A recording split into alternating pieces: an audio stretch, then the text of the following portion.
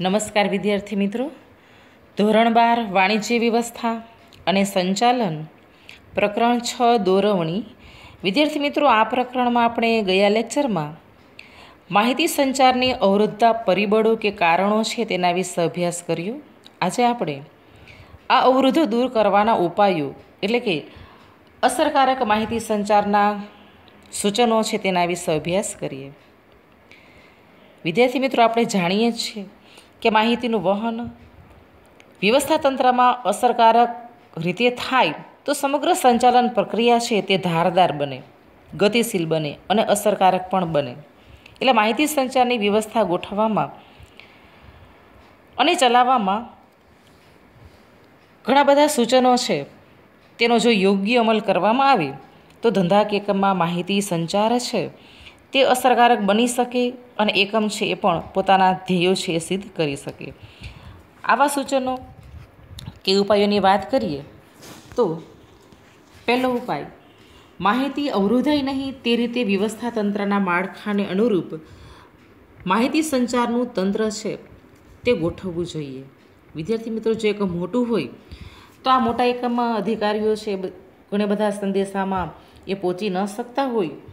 તો આવા વખતે વ્યવસ્થા તંત્રને માળખું છે તેને ધ્યાનમાં રાખીને માહિતી સંચારના તંત્ર છે તેની ગોઠવણી કરવી જોઈએ. મદદનીશો છે તેના દ્વારા પણ માહિતી સંચાર છે તે કરવો જોઈએ. બીજો ઉપાય જોઈએ, માહિતી આપનાર જે માહિતી આપે તે સ્પષ્ટ હોવી જોઈએ. જેથી માહિતી મેળવનાર છે તે તેને સારી રીતે સમજી શકે.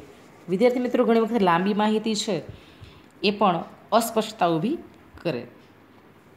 ત્રીજા ઉપાયમાં વાત કરીએ, તો માહિતી પ્રસારના અલગ અલગ માધ્યમો ઘણા બધા છે. તેમાંથી માહિતી કે આપણો સંદેશો છે તેને ધ્યાનમાં રાખીને અસરકારક માધ્યમ છે તેની પસંદગી કરવી જોઈએ. તમે જાણો છો, માહિતી સંચારના જુદા જુદા માધ્યમોમાં ટેલિફોન છે, પત્ર છે, ઈમેલ છે. તો વિદ્યાર્થી મિત્રો, જે માધ્યમ સારું છે સંદેશાને અનુરૂપ, તે માધ્યમની જો પસંદગી કરવામાં આવી, તો અવરોધો છે તે ચોક્કસ દૂર કરી શકાય.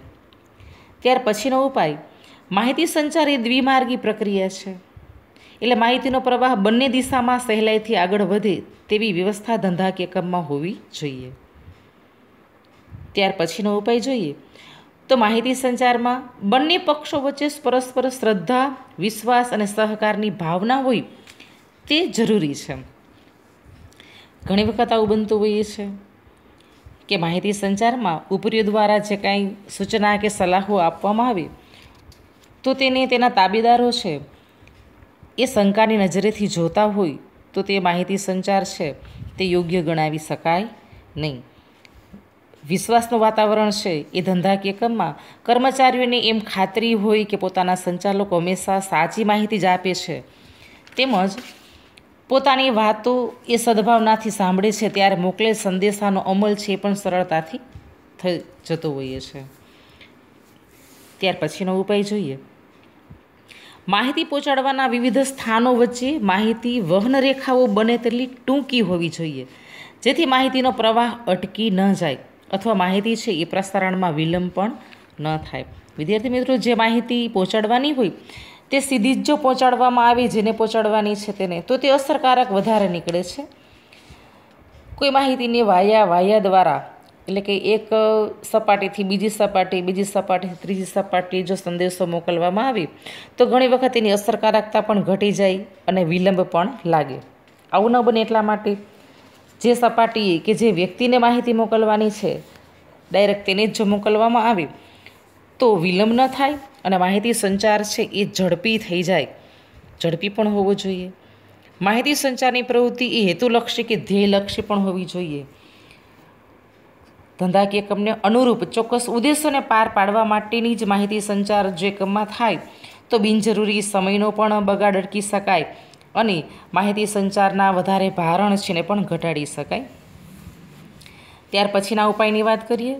તો માહિતી સંચારનું પ્રસારણ એ માહિતી સંચારના માધ્યમો ઉપર ભારણ વધારે હોય તો યોગ્ય પ્રસારણ છે તેનું થવું જોઈએ. તમે ઘણી વખત જોતા હશો, વિદ્યાર્થી મિત્રો.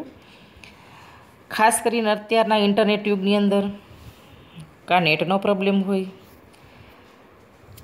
મોબાઈલ ટાવરના ક્યાંય પ્રોબ્લેમ હોય, ટીવીની અંદર પણ આવું થતું હોઈએ છે. તમારા મોબાઈલમાં પણ તમે આવો અનુભવ કરતા હશો. હું પણ ઘણી વખત આવો અનુભવ કરું છું. કે માહિતી સંચારમાં માધ્યમો પર વધારે ભારણ આવે, તો આપણે કોઈ સંદેશો કે માહિતી છે ઝડપથી પહોંચાડી નથી શકતા અને મેળવી પણ શકતા નથી. ત્યાર પછીનો ઉપાય જોઈએ કે માહિતી સંચાર વ્યવસ્થા તંત્રનું સમયાંતરે મૂલ્યાંકન થવું જોઈએ. જેથી બદલાતા સંજોગો અને સમયને અનુરૂપ માહિતી સંચાર વ્યવસ્થા છે અને તેના સાધનો છે તેમાં ફેરફાર કરી શકાય. લાંબા સમયથી કોઈ સાધન છે એ કાર્ય કરતું હોય તો તેને સમારકામની વાત છે, તેના સાધનની. તો આમ, આધુનિક કોઈ સાધનો છે, માહિતી સંચારના આવે, તો તેમાં તેનો પણ ઉપયોગ કરવો જોઈએ. આમ, વ્યવસ્થા તંત્રમાં માહિતી સંચારના સાધનો છે, તેમાં પણ સમયાંતરે ફેરફાર અને જાળવણી કરવી જોઈએ. ત્યાર પછીના ઉપાયની વાત કરીએ, તો માહિતી સંચારની સમગ્ર પ્રક્રિયા દરમિયાન માહિતી આપનારનું અંગત હિત કે સ્વાર્થ ન હોવો જોઈએ. જેમ કે માહિતી આપનાર અમુક માહિતી છુપાવી કે જાણી જોઈને અધૂરી આપી કે વિકૃત રીતે પણ રજૂ કરે, તો ધંધા કે કેમ છે તેના ઉદ્દેશો જ અલગ થઈ જતા હોઈએ છે. આવું ન બને એટલા માટે માહિતી સંચારમાં માહિતી આપનાર વ્યક્તિએ પોતાનું અંગત હિત કે સ્વાર્થ છે એ સદાય નહીં અને સાચી અને સ્પષ્ટ માહિતી છે તે તેને રજૂ કરવી જોઈએ.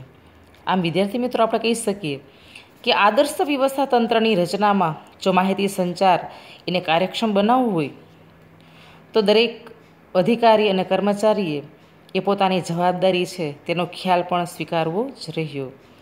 આ માહિતી સંચાર એના સફળ અમલીકરણ માટે આપણે એટલું ચોક્કસ કહી શકીએ કે માહિતી સંચાર એ સ્વયં સાધ્ય કે ધ્યેય નથી, પરંતુ માહિતી સંચાર એ અર્થપૂર્ણ પ્રવૃત્તિ બની રહેવી જોઈએ.